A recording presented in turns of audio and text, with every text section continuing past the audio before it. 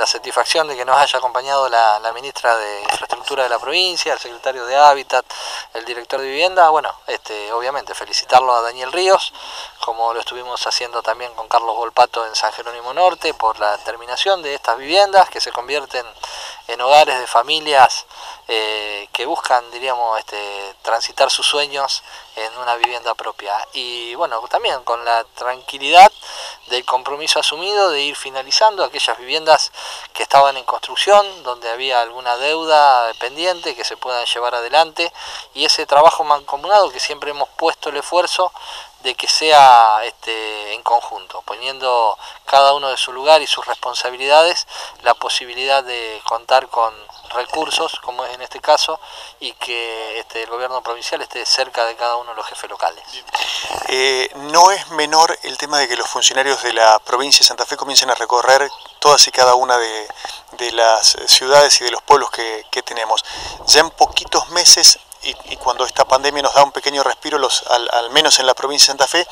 vemos esa impronta que intenta evidentemente dar el gobernador de la provincia del funcionario cerca de la gente. Esto es innegociable. Sí, sí, esto es sobre lo que insistimos, más allá de la pandemia, que obviamente nos detuvo en la posibilidad de este contacto frecuente y personal, eh, es lo que hemos insistido en todos estos años y vamos a seguir insistiendo, que los funcionarios del gobierno de la provincia tengan la articulación para estar presente en cada uno de los lugares. A nosotros nos interesa mucho que cada ministro, que cada funcionario de la provincia tenga un contacto personal, conozca la realidad en cada una de sus ciudades y pueblos, para que podamos hablar el mismo idioma a la hora de buscar soluciones para nuestra gente.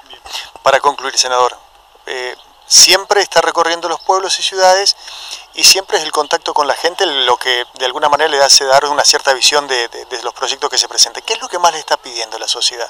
a, usted como en, su rol legislativo? Digo porque las necesidades parecen cada vez más grandes, los clubes no llegan, este, las instituciones se les hace cada vez más cuesta arriba pagar servicios, eh, eh, hay una caída de puestos laborales, me imagino que, las necesidades pasan por ahí. Sí, hoy la agenda pasa este, producto de cómo nos ha atravesado la pandemia, no solo